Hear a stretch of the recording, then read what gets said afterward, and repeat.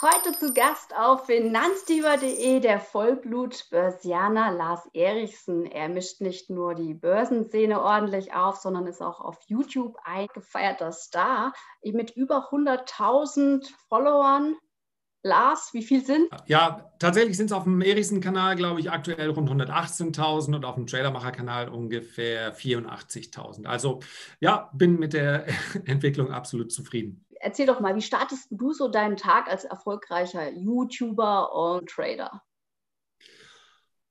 Ich bin ja kein Digital Native, das heißt also, mich kann diese, können diese sozialen Medien und dieser permanente Austausch also durchaus, ähm, ja, das ist, führt schon dazu, dass ich ein bisschen ermüde. Deswegen ist mir ganz wichtig, dass ich morgens in der ersten Stunde mal damit gar nichts zu tun habe.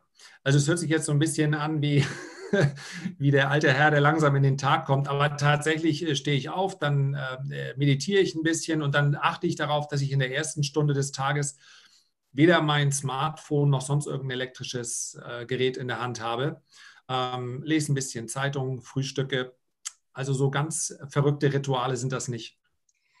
Du lebst ja seit über 20 Jahren vom Börsenhandel. Gab es mal eine Phase, wo du dich ertappt hast, dass du vielleicht auch börsensüchtig bist? Und wenn ja, ist das gefährlich? Also wäre es ganz sicherlich.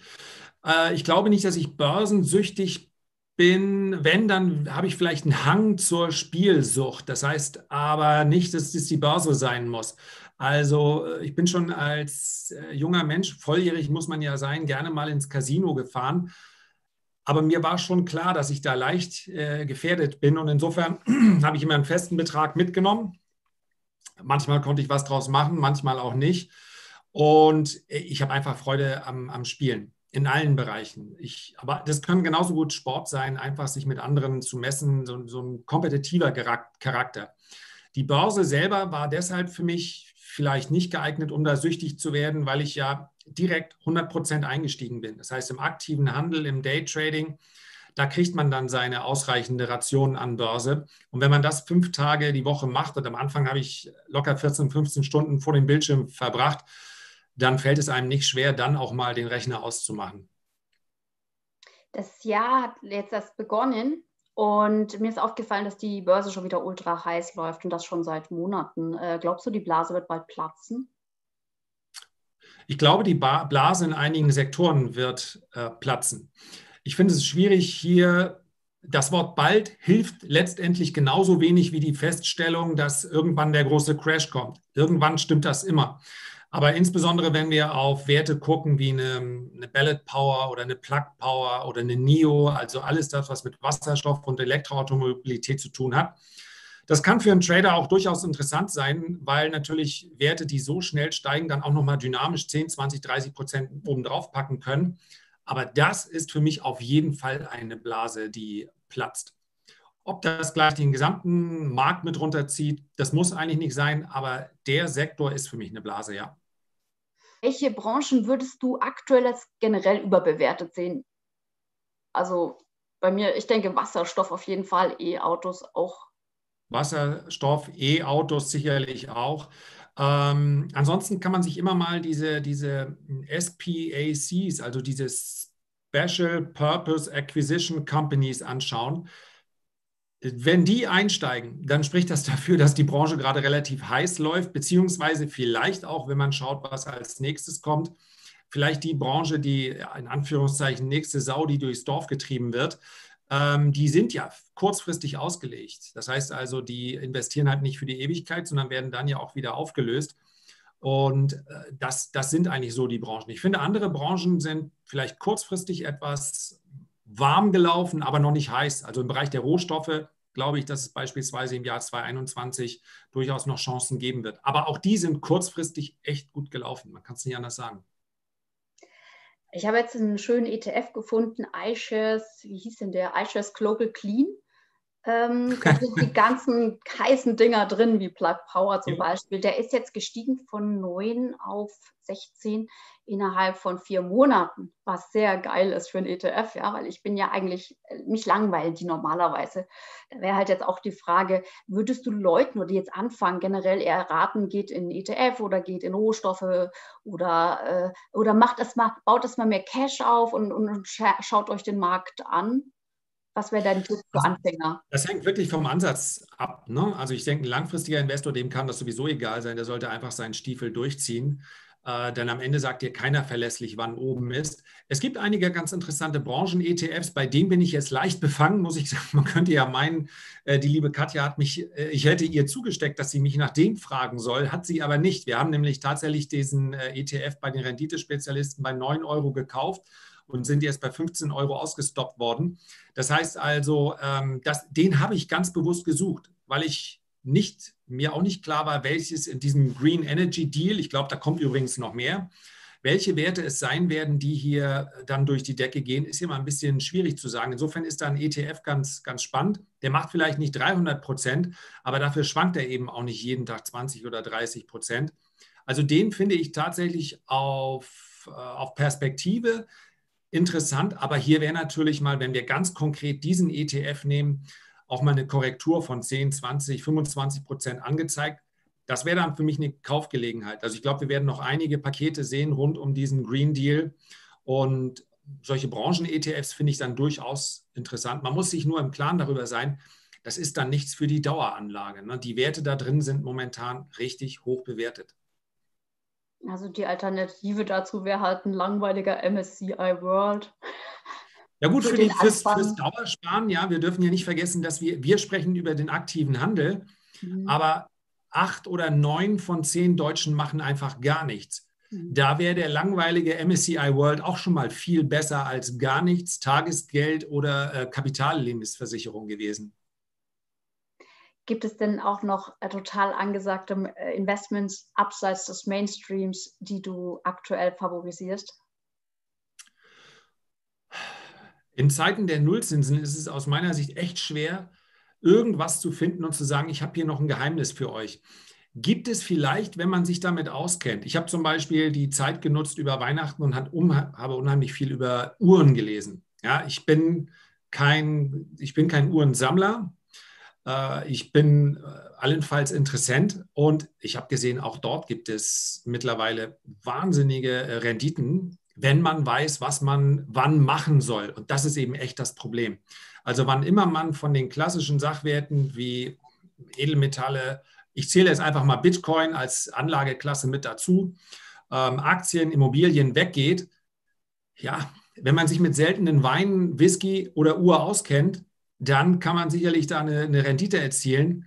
Aber wenn nicht, dann macht man eben vermutlich auch so ziemlich alles falsch, was man verkehrt machen kann. Leider habe ich da also keinen so richtigen Geheimtipp. Ja, Stichwort Uhren. Ich habe jetzt mal nachgeschaut.